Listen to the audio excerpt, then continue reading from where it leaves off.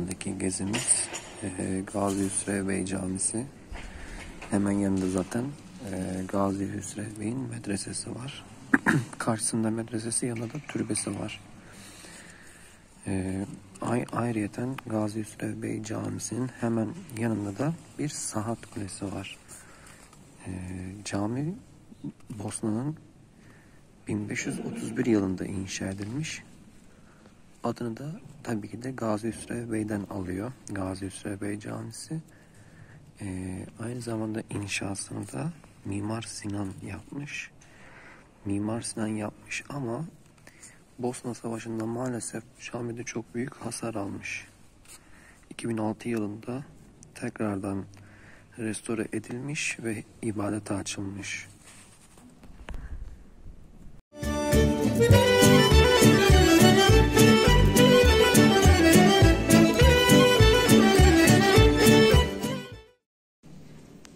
Evet sıradaki durağımız Gazi Hüsrev Bey Medresesi. Hemen zaten caminin karşısında. Medrese aynı zamanda müze. Müze olduğu için de ücreti var. Ücreti ise 3 mark. O da aşağı yukarı 20 liraya tekabül ediyor.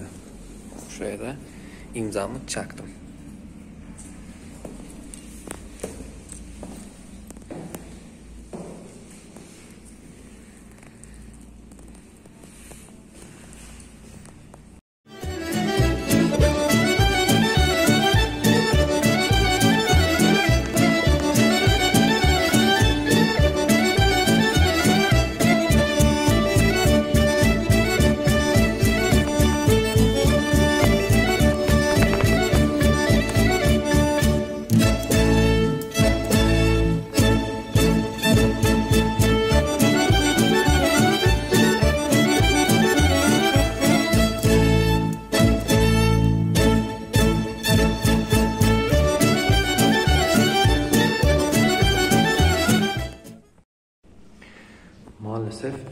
De bahsettiğim gibi e, Bosna Savaşı esnasında Saraybosna'nın önemli sembollerinden birisi olan Gazi Hüsrev Bey Camisi Medresesi e, topçu ateşlerinden ve havan ateşlerinden dolayı çok yüksek miktarda hasar almış.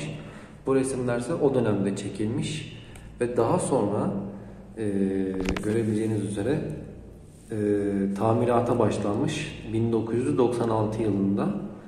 Bunlarsa hasar almış ve tamirattan resimler ve aynı zamanda bir tane de örneği var burada. Hasar almış bir e, medreseden bir parça.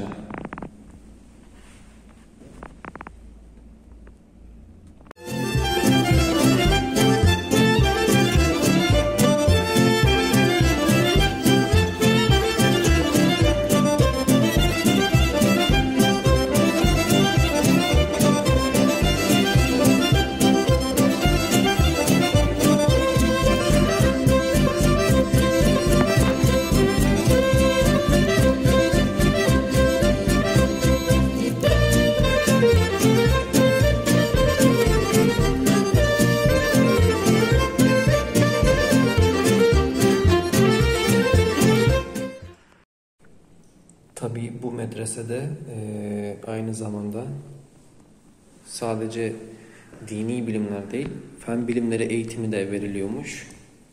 Ki dürbünler, pusulalar buralarda.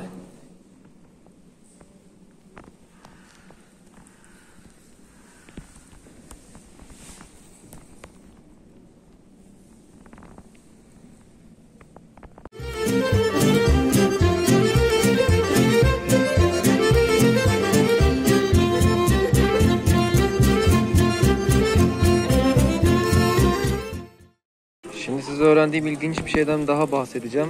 Ee, Sebil'de bir rivayet vardı. Soldan içersen Bosnak birisiyle evlenirsin. Sağdan içersen de Bos Bosna'ya tekrar uğrarsın diye.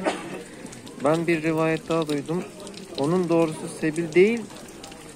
E, Gazi Hüsrev Camii'nin çıkışının hemen biraz e, iki tane su çeşmesi meğerse bunlarmış. Yani bir rivayette e, baş çarşı meydanındaki Sebil değil buradaki iki çeşmeden içilirse bu rivayetlerin gerçekleşeceğini söylüyor.